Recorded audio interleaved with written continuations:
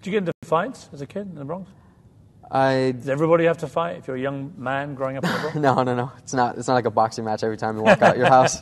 But uh, we did. It was a sad day. We were actually coming from my brother's confirmation at, at church on Sunday, and uh, my brother, my older, my one of my older brothers, his name is uh, Emmanuel, and we got into a little spiff going home, and it's just spiraled out of control so quickly. I don't even really remember it. But we were we were going home one day and that day, and uh, we it started out as an argument, and then it got into a physical altercation. And all of a sudden, not even exaggerating, there were thirty guys, twenty guys that showed up and started attacking all of us, and there were only four of us, and I was ten years old at the time, and my brother was twelve 20 and 27 and i mean 30 versus 4 Mm-hmm.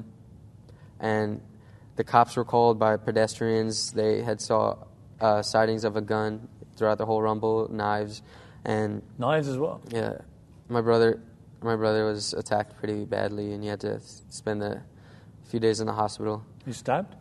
no thank god but um it's, it's What did, it, what did it teach you, the incident? that life is unpredictable, and you can't you can't let you can't hold on to that. I let it go in the past, and I've just I don't think about it now because we're stronger for it now that we went through it. But it's not something that I keep with me because if I did, it would destroy me. You've got out of the Bronx now. You know, you live elsewhere. You go back. Obviously, your family is still there. Your parents have both suffered from ill health and stuff. Do you see in the future a life for them out of the Bronx? Absolutely. The whole reason that I got so serious about gymnastics was to make a better life for myself and make a better life for my family. And that's what I've set out to do since I've made this commitment to myself to make the Olympic team and reach my goals and dreams. And uh, one day I'm going to do it. It's a lot of pressure, but I'll take it on.